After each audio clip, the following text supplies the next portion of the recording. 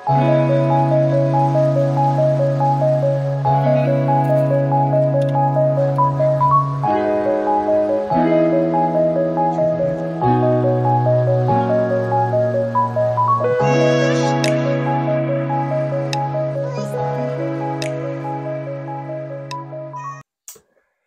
everybody, today we're going to talk about the Vortex Razor UHDs.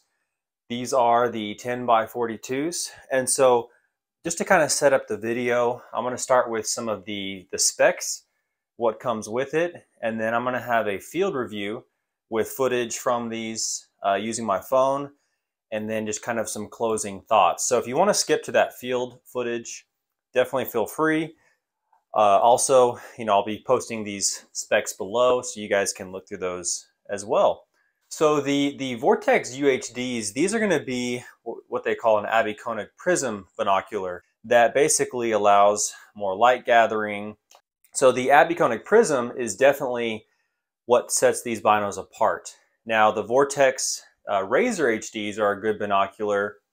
I have also looked through those and we'll talk about some of the differences there. But the UHD, a big difference is that Abbe Koenig prism. Wanted to first mention that it is going to be uh, better for that light gathering. A few of the other brands out there that are in this same similar range are going to be your Sig Zulu 9s. You've got the Maven B2s and the, the Vortex UHD. Those are kind of three that I've just uh, I've looked at, and basically they're all going to have that similar prism. They're also all made in Japan, so there's some similarities there if you're looking for a binocular with, with that specific prism. To me, there's just a big jump when you get to the UHD. And yes, you're getting up there in price, but you are going to get a binocular that gives you a lot of great clarity, a lot of good features, and you're going to be very happy with it for a long, long time. Uh, these are not necessary by any means to get into hunting. Uh, this is for somebody that has maybe drawn that dream of a lifetime tag, they just are really, you know, binoculars are something they love to look through. Birders, it's a hobby, or they just really desire that good glass, then it's worth looking at. But by, by no means do you have to, to uh, start with these for hunting. My first binoculars were the Diamondbacks, and I still really love the Diamondbacks. We'll talk more about those later. Um, so if, if, these are a little bit overwhelming from a price standpoint, completely get it take a look at the Diamondbacks. Uh, you can find those used good deals, sub 200 for sure. So these are expensive. They had a price increase uh, the last year. I typically don't go off of like what you can buy at retail now. Um, and that's just because I like to look for certain deals, find used. Uh, it's it's hard to imagine paying full retail for these personally, and so just wanted to mention that as well. Uh, kind of look around, be patient, if you are seriously considering these, these binoculars. These are pretty big. They're tall. Uh, they're a little over 32 ounces. So that prism does make the binoculars bigger. And so to me, I, I don't mind the extra weight for the, the better image. And so my primary uh, binocular is the Zulu 9s. And they're super heavy, but the, the image you get with the Abbe Koenig prism is definitely uh, worth it to my eyes. If you want to look at like harnesses, for example, a marsupial, you're going to have to get a medium with these. So your harness is going to have to be a little bit uh, taller. So keep that in mind. Uh, if you have a super small harness and you're using an Abbe Koenig prism binocular, you're probably going to need to get a bigger harness, which can be an expense. Now, Vortex did include a binocular harness with these, and it has a, I guess, a rangefinder or side pouch it's a really good uh, harness. I still prefer my marsupial, but it is nice that they added this. It's a pretty pretty good harness and it has a lot of great features, side pockets, this extra harness. There's an ammo holder in there. So it, it does add uh, some value there when you're looking at the, the harness, but I still like that, that marsupial. So going through the specs, the, the UHDs, as we talked about, they're 32 ounces. They're, they're pretty tall. And then they also have about 16 and a half, I think it's like 16.7 millimeters for eye relief. And so that's a, a pretty good amount of eye relief. I had to use it with a couple clicks out on the eye cups for my eyes. And then it, what I like about that is when you're on a tripod, you can move it all the way in. it's easier not to touch it. So to me, the eye relief is definitely sufficient. It's a good eye relief. So the field of view is 346. Uh, to my eyes, when I have a binocular that's 330 or above, maybe maybe a little bit lower, but I like 330 or above. It feels like a nice wide field of view. Uh, I really like when you get into that 340 and above. Uh, so these are definitely sufficient there. Uh, great, great field of view on these. One note also about the older, not the older, but the, the Razor HDs, they have a wider field of view. They're over 360. And so that is a difference here going through the, the two types, but this is definitely a sufficient field of view, especially for those, those 10s. One unique feature that these have that the, the Zulu 9s and the B2s do not by Maven are there is a locking diopter. And so that is nice that these have that. So that's one uh, difference there. And then also the objective covers are very sturdy. They go on the inside of the objective lens which I also really like too. So the these handle similar to like the Razor HDs. I think Vortex did a good job with the ergonomics on the razors, and I really like the way these feel. The eye, cups, eye cups have that same rubber on them. So if you're used to razors, you're going to really feel at home with these. And uh, I do really like those ergonomics. What's also nice is that you're you're in a 10 by 42. So this is a great option for an Abbe Koenig prism binocular in a 10 by 42. Uh, the 10 by 42 is just a staple in Western hunting or hunting in general. It's a really great balance of size, weight, low light performance, and it's a really good do it all package. So for guys that really like the 10 by 42 and want that prism, I would say these are worth uh, taking a look at. The Maven and, and SIGs, those are nines or 11s. So just wanted to mention that. Um, some of the differences there.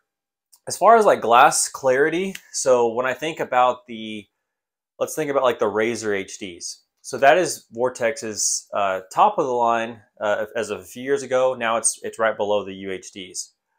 To my eyes, there is a significant jump when you go to these UHDs. I definitely think that it is a, a, a big jump. Like going from Vipers to Razors is a pretty big jump, but the razors to the the UHDs is a is a solid jump. I don't think with UHDs you're going to be feeling like you want you know much higher end.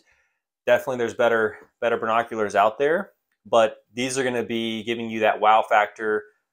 Whoever looks through these, I I think even if they've looked through some decent glass, it's going to be a good good image that there's there's some wow factor there each time you look through it. So the clarity is ex exceptional. I'll show some of that in the video. The eye relief is really great. Uh, the low light performance with this prism is, is really good as well. And so when you're looking at this binocular, yes, it's a very steep price, but you're getting some really good glass. You're getting some great ergonomics, you know, just a solid built binocular. Uh, these are made in Japan. So the, uh, the Razor HDs recently have been made in China. So that's one other thing to think about. These are, are made in Japan. And then just also wanted to mention, I know the, the Vortex warranty is something that a lot of people say, well, you're going to need it or, or, things like that. And I think that part of that has become kind of a, a, saying just due to they have a lot of the lower end scopes, the crossfires, and I mean, you're talking around $100. And I've shot a crossfire and it, it worked for what I was using it for. But when you see those comments, keep in mind Vortex has a super wide range of products. Uh, it's pretty impressive how they go from very, you know, in, somewhat inexpensive to very expensive, and they have felt, filled a lot of gaps. So these are on that higher end. Uh, I have not had, you know, issues with razor models and the scopes, especially binoculars. So look at where they're made, you know, things like that. That's going to be important. It's not necessarily that Vortex alone is a, a bad uh, company. So I did want to mention that about the warranty. Um, I had a rangefinder that did fail on me eventually, and just just to give them a shout out, they did pay for the shipping there. They paid for it back.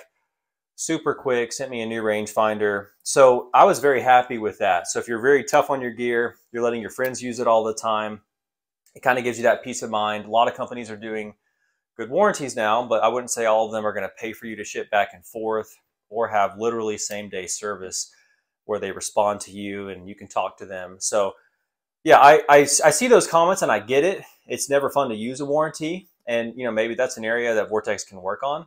Um, I'm not sure. I don't really, you know, know that much about their warranty as far as kind of the behind the scenes. But from my experience, it was excellent. I'm looking more at uh, the internals, where they're built, you know, those types of things.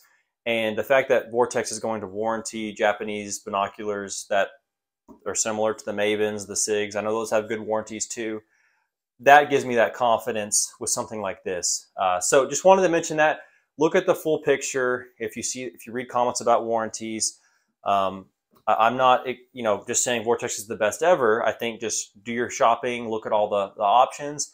At the end of the day, if you're going to get in this price range, go with what you know you feel like is the best value for your your dollar. So let's get into the field review, and then uh, we'll wrap up after that. All right, so yeah, just checking out the target there.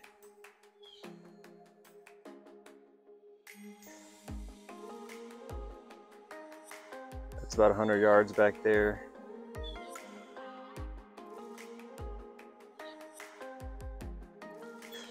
Kind of give you an idea of the image. Sorry it's a little shaky, I didn't bring my tripod adapter.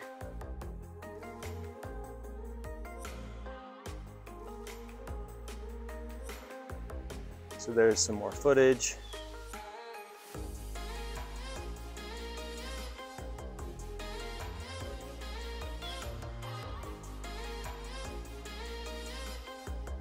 So a great image through these. So wanted to show you guys kind of what that looks like. Super easy to focus. Again, that's about 100 yards. Not a ton of different colors here to look at like contrast.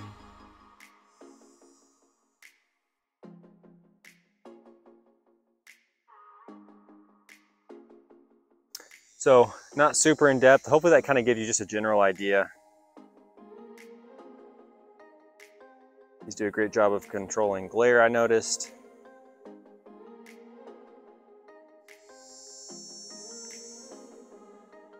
Those are little golf keys right there.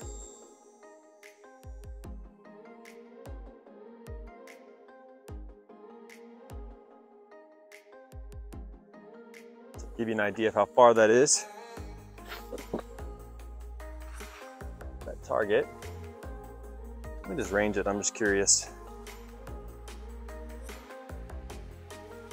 Target's about 36.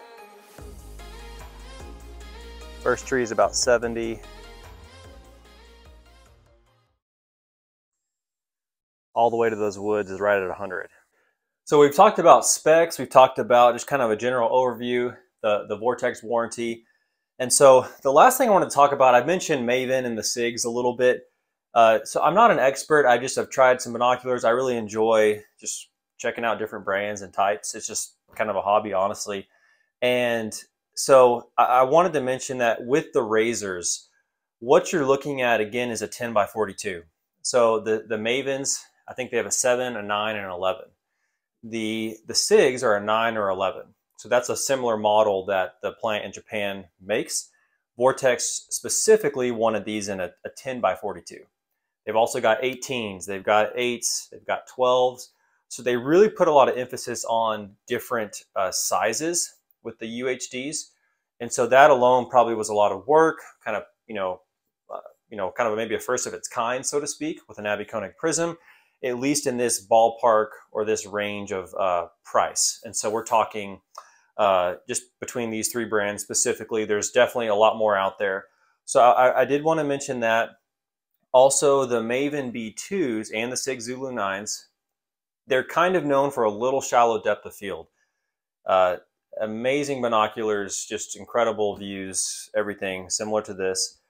The the nines, I've looked through Sig Zulu 9 and the 9. Good depth of field. It's nothing crazy, but it's fine. The 11s, which I really, really like, it's a shallow depth of field to my eyes. There's a lot of focusing going on. And so that is a common uh, discussion about the 11s, whether it's the Mavens or SIGs.